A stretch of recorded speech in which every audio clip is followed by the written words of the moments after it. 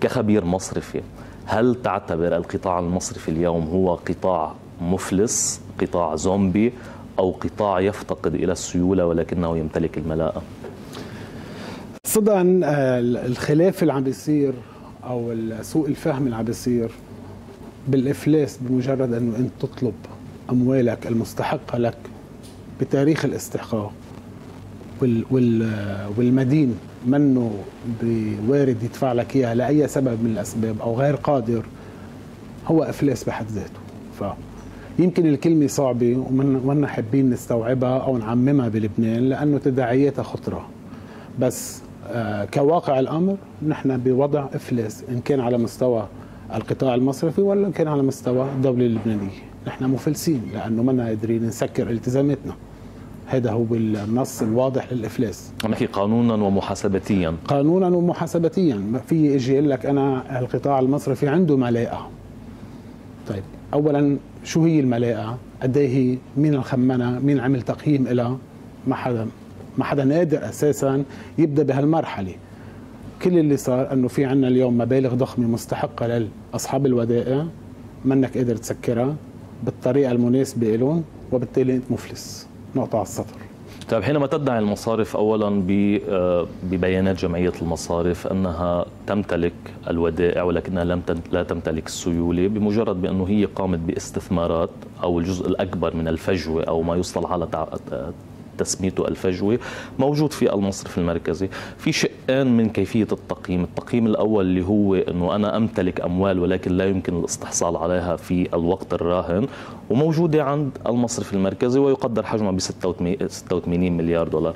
لما تصر على هذه المقاربة وإنه أنا الأموال موجودة انها إنما لم تدفع لي بعد وهناك من يتحمل المسؤولية. كيف بيتم الجواب على هذا هن عم يحكوا عم يحكوا من وجهة نظر محاسبية.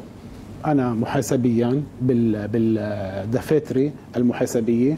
عندي ودايع مثل ما عندي ودايع اللي هي بتشكل التزامات على المصرف. عندي بالنهاية توظيفاتي مع مصرف لبنان اللي هي بتشكل الأصول لصالح المصرف. وبالتالي ما حدا عم بيجرب يضوي على الحقيقة إنه هالأموال لم تعد موجودة. وبالتالي محاسبيا عم ضلي متمسك فيها الطارح كجمعية مصارف لحتى برر إنه مني أنا المسؤول عن هالمصاري هيدي اللي ضاعت. هذا رأيهم أوكي؟ هن عم يستندوا إنه أنا أكبر مودع المودع الأول بلبنان هو القطاع المصرفي اللي هو اودع مصرياته لدى مصرف لبنان. وبالتالي أنا كمودع كمان خسرت. فعم بيجربوا يفوتوا من هالمدخل إنه هو اللي هو تبرير ليه المصاري راحت. هذا هذا حكي مردود عليه لأنه ما بدنا نحكي محاسبيا نحن شو وضعنا؟ بدنا نحكي بالواقع. بواقع الأمر ما في مصاري.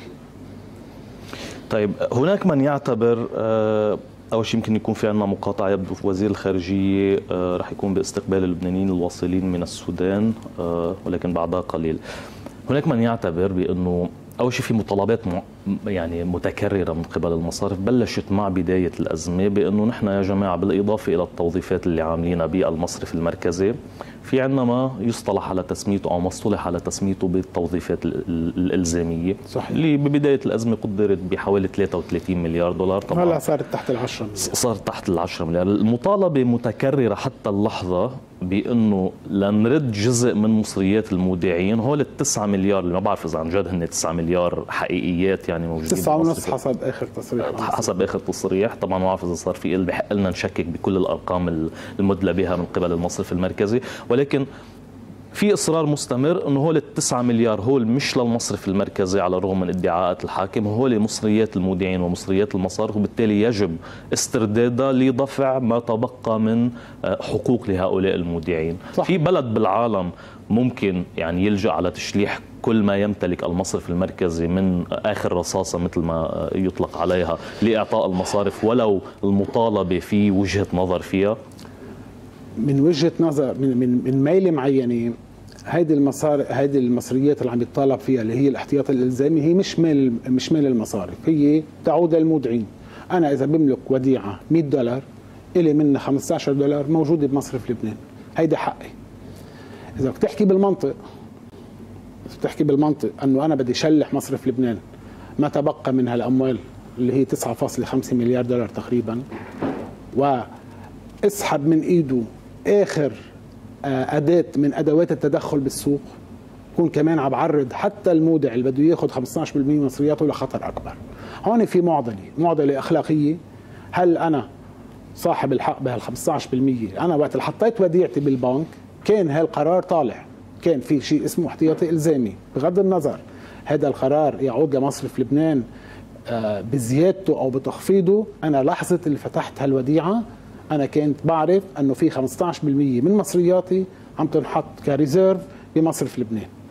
هذا ال obligatory reserve الاحتياطي الإلزامي هذا بشكل لي ضماني إلي كمودع. وبالتالي وقت اللي بصير في أي تعثر باسترداد أموالي إضافة للمبالغ اللي بتضمنها الدولة أنا هال 15% لازم أستردها إلي.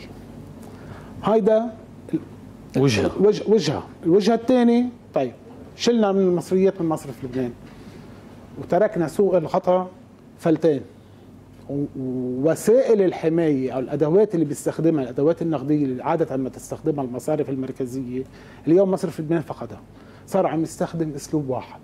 بكب السوق دولار بيرجع بشلح من السوق دولار. بجفف ليرة بيرجع بغير الوضع. لحتى يعمل عمليات صدمة مش أكثر من هيك. وبالتالي حتى هيدي بنكون سحبناها منه. هون في معضلة.